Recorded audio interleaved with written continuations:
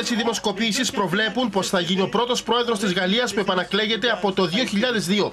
Κάποιες τον δείχνουν να κερδίζει με διαφορά από 7 έως 12 ποσοστιαίες μονάδες.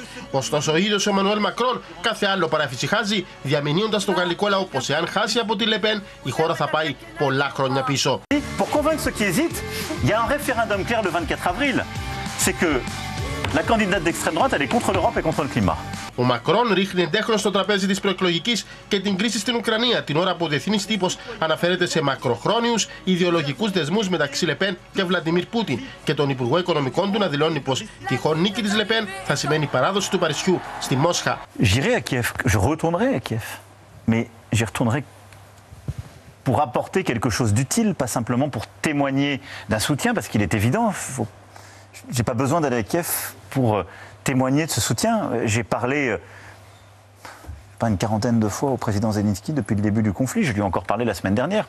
Donc ce soutien, il est acquis, il est acté, il est constant, mais si je vais à Kiev, c'est pour essayer de changer la donne. Εάν η Λεπέν κερδίσει, ο πολιτικό σεισμό θα είναι ανάλογο του Brexit. Επισημαίνουν ξένοι αναλυτέ με το βλέμμα να είναι πλέον στραμμένο στο αυριανό debate, που αναμένεται να καθορίσει πολλά στην τελική έκβαση τη εκλογική μάχη.